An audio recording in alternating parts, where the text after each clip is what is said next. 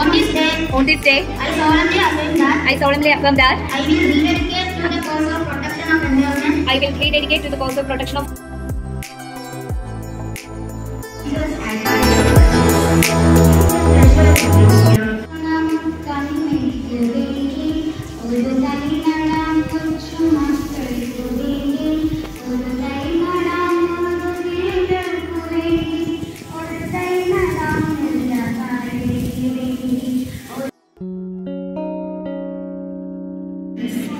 Good all of you.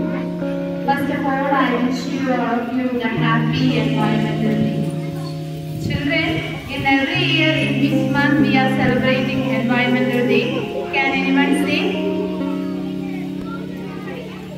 June 5th, isn't it? Every year, June 5th, we are celebrating the Environmental Day.